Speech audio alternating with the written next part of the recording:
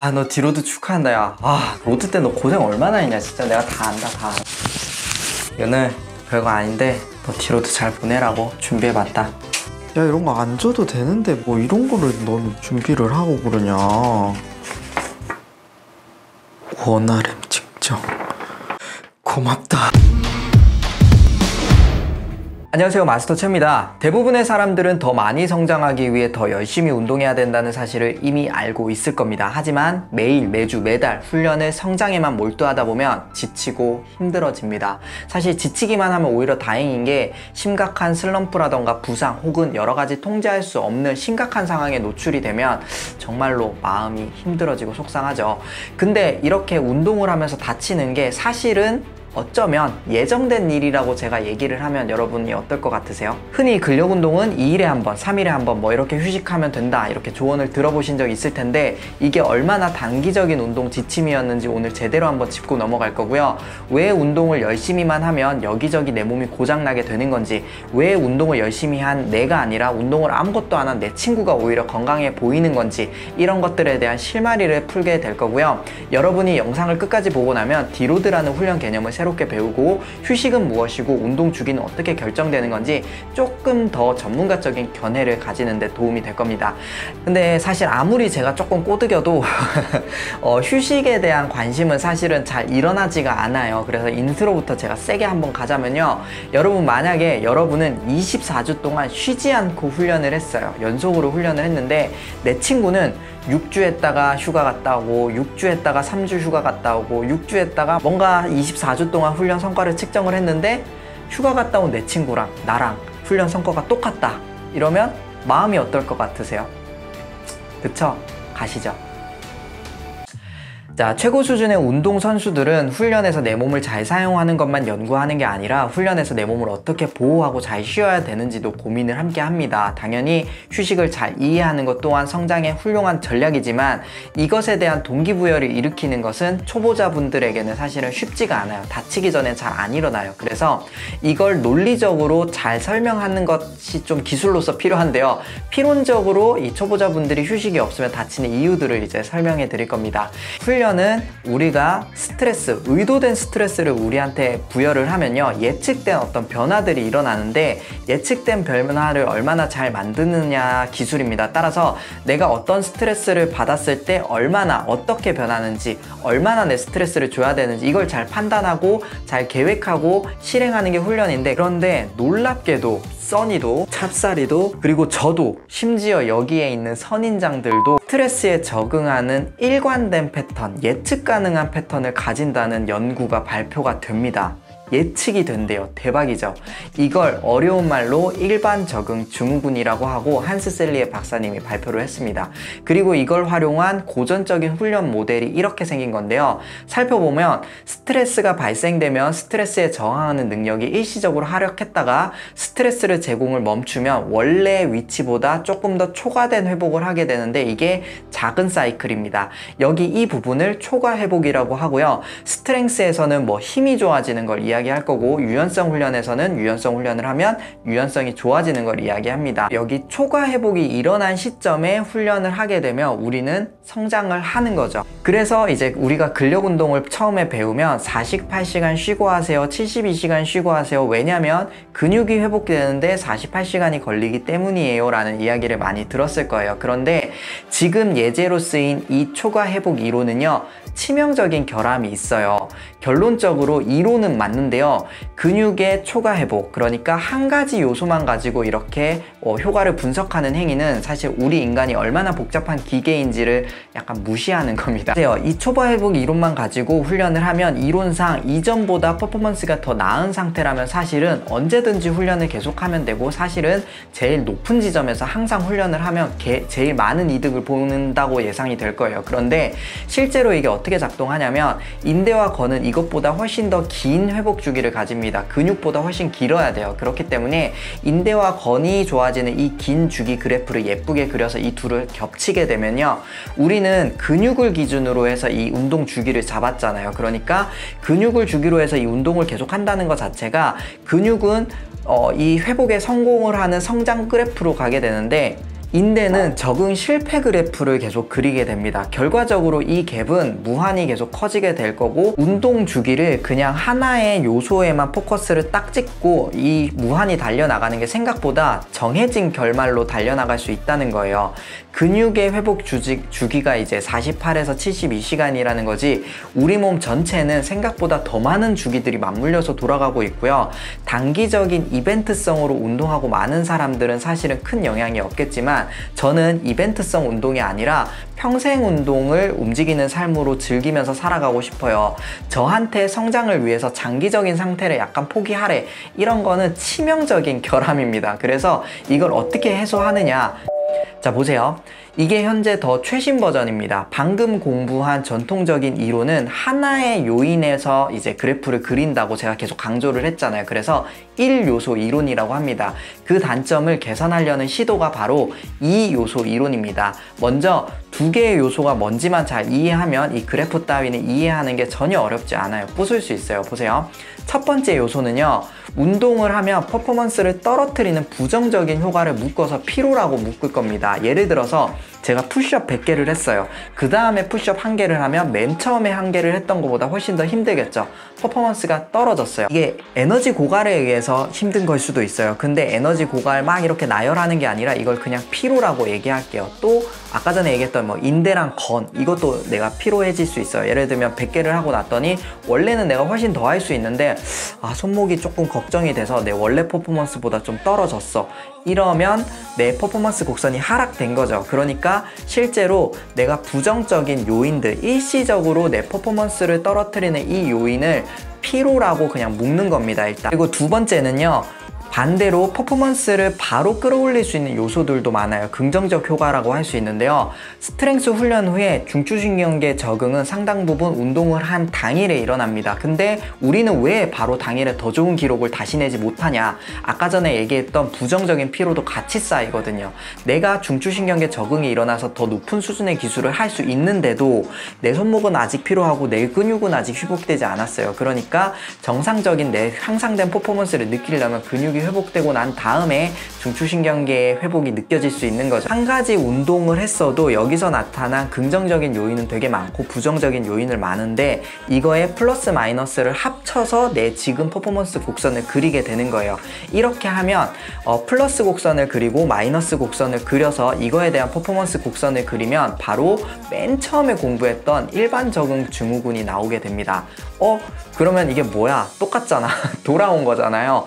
근데 그게 아닙니다. 보세요. 아까 이야기했던 이 1요소 이론에서는요, 우리가 훈련을 했던 시점보다 퍼포먼스가 조금이라도 향상이 된다면 사실은 언제든지 훈련을 해도 됩니다. 하지만 이 2요소 이론에서는 이 초과 회복 구간을 자세히 확대해서 보시면 피로가 남아있는 초과 회복 구간이 있고요. 피로가 모두 해소된 초과 회복 구간이 있습니다. 그럼 감이 좀 오시죠? 이제 무조건적인 성장이 아니라 피로, 부정적인 효과들을 어떻게 컨트롤 할 것인지도 내 훈련 주기, 계획 안에 포함이 돼야 된다는 거예요. 예를 들어 어떻게 하면 더 빨리 성장할까에 미쳐 있잖아요. 이거는 잘못이 아니에요. 왜냐면 저도 마찬가지로 미쳐 있거든요. 근데 더 빠르게 성장하려면 무조건 성장만 포인트를 찍는 게 아니고요. 이 부정적인 영향도 어떻게 컨트롤하게 될 건지 이거를 계획 주기 안에 포함시켜야 된다는 거죠. 그래서 여러분이 지금부터 이제 차근차근 배워나가야 될 게 뭐냐? 바로 deload라는 훈련 개념입니다. 여러분이 가장 쉽고 간편하게 실시할 수 있으면서도 동시에 여러분이 앞으로 장기적으로 활용할 수 있도록 deload, 휴식 훈련 이라는 개념을 알려드리도록 하겠습니다. 훈련을 해도 되지만 이 피로는 계속 누적돼. 그렇기 때문에 1, 2주 정도 의도된 휴식을 취합니다. 이렇게 하면 쌓여있던 부정적 피로를 털어버리게 되는데 이게 사실은 1요소 이론에선 전혀 할 이유가 없는 행동이에요. 48시간 지났고 근육 성적 올라왔는데 왜 휴식을 더해서 성장 곡선을 떨어뜨리냐는 거죠. 쉽게 얘기하면 훈련을 줄이는 줄을 이야기해요. 의도적으로. 뭐 1주가 될 수도 있고 2주가 될 수도 있겠죠. 이때 다치고 나서 몇 주를 쉬는 거 이건 deload라고 부르지 않아요. 다치기 전에 예정된 훈련 양을 감소시키는 거 이거를 deloading이라고 합니다. 어, 제가 여러분들이 쉽게 활용할 수 있는 세 가지 방식의 deload 주간을 소개해 드리면요. 주간은요. 첫 번째는 완전 휴식을 하는 주간, 두 번째는 훈련은 하되 훈련 양과 강도를 줄이는 deload, 그 다음에 세 번째는 훈련을 하는데 오히려 강도를 늘리는 deload입니다. 첫 번째, 완전 휴식은 말 그대로 완전 휴식인데 이게 잘 작동하는 건지 믿기가 힘들잖아요. 그래서 처음 잠깐 연구를 띄워드리면 6주마다 3주를 휴가 갔던 그룹과 24주 연속으로 했던 그룹이 같은 성장을 했대요. 근데 뭐 이거에 대한 특별한 노하우는 설명드릴 게 없네요. 그때 어, 볼륨과 강도를 모두 줄이는 deload입니다. 현재 하고 있는 훈련에서 반복 횟수와 세트를 50%가량 줄이고요. 강도는 많이 안 줄여요. 그러니까 어, 여러분이 들고 있는 그 무게 있죠. 무게는 10에서 20% 정도만 떨어뜨리는 겁니다. 이때 강도를 많이 떨어뜨리지 않는 이유는요. 여러분들의 이 긍정적인 효과를 봤었던 이 곡선도 오랫동안 유지해야 되는데 너무 많이 떨어지면 사실은 좀 손실이 크잖아요. 그래서 피로는 회복되라고 대사적 스트레스에 가까운 이 볼륨은 떨어뜨리는 거고요. 그리고 세 번째는 이 강도를 오히려 올리는 deload입니다. 현재 하고 있는 반복 횟수는 50%가량 낮추고요. 여러분이 하고 있는 무게나 강도는 조금 더 높여서 연습을 하는 건데요. 이거는 어, 난도가 진짜 높은 방법이에요. 그러니까 훈련 강도를 높였는데 회복은 100% 돼야 된대요. 근데 딱 들어도 그게 경험을 많이 해봐야 될 것 같은 느낌이 드시죠? 이거는 굉장히 사소하고 개인적이고 또 예측 불가능한 이유, 각양각색의 이유로 deload를 실패를 해버립니다. 그러면 어, 나는 deload 주기를 보내야 돼서 회, 피로가 회복됐어야 되는데 다음 load를 들어가는데 피로를 더 쌓아서 들어가는 케이스도 생겨요. 그러면 한 시즌 뭐 말아먹는. 자, 이제 마지막인데요. 어, 얼마나 자주 deload를 해야 할까요? 여기는 마지막 이제 논란 포인트인데요. 주기적으로 deload를 하는 게 있고 비주기적으로 deload를 하는 모델이 있어요. 비주기 모델은 계획되지 않았다가 아, 오늘 나 deload를 해야겠다 해서 deload를 하는 거예요. 뭔가 계산해서 할 수도 있고 어쨌든 비주기적인 모델을 따라가는 건데요. 반대로 저는 주기적으로 4주를 뭐 했으면 3주를 뭘 하고 실제로 저는 7주를 load를 하고 5주를 deload를 합니다. 이때 이 비주기적 모델은 자신에게 최적화된 deload를 할 수 있는 장점이 있지만 그외 상황에서 이 quality를 보장할 수가 없습니다. 그래서 재밌는 얘기 하나 해드릴게요.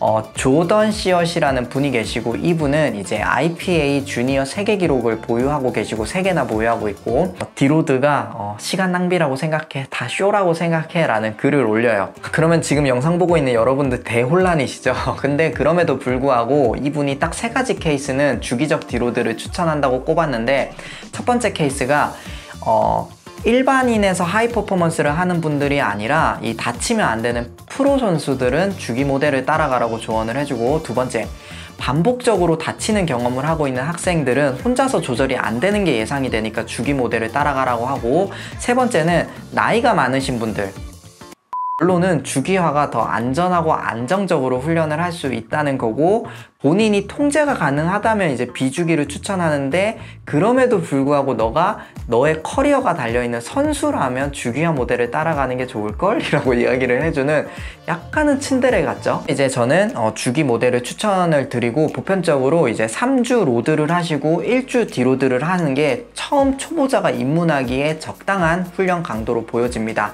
한 사이클이 끝나고 나서 다음 사이클로 갈 때 문제없이 잘 훈련이 진행되고 있는지 추적 관리를 하셔서 부정적인 사인이 없다면 deload를 조금 더 늘릴 수도 있고 뭐 load를 늘릴 수도 있는데 근데 이제 이게 좀 답답해지기 시작해서 3주 1주 말고도 주기화 모델 많은데 다른 거는 뭐 어떨까 이렇게 좀 어 뭔가 궁금증도 생기고 뭔가 변화를 많이 해야 될 것 같아 그러면 어, 사실은 여러분들이 조금 더 깊이 공부하시는 게 더 좋아요. 왜냐면 그냥 단순히 뭐 주에 몇 번 하세요처럼 보이겠지만 사실 이게 정말 작은 결정들을 켜켜이 쌓아가지고 만든 예술품 같은 거예요.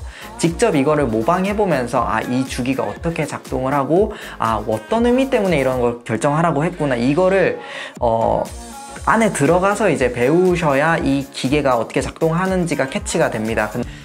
자 정리하겠습니다. 48시간 쉬세요 72시간 쉬세요. 이렇게 고전적으로 많이 사용되던 이 초과 회복 그래프는 잘못됐다기보단 사실은 한 가지 요인만 가지고 분석하기에는 우리 인간의 몸이 얼마나 복잡한지를 떠올려 보면 이 그래프의 결함이 드러나기 시작합니다. 그래서 이거를 좀 정교하게 조작하기 위해서 이 요소 이론을 배웠습니다.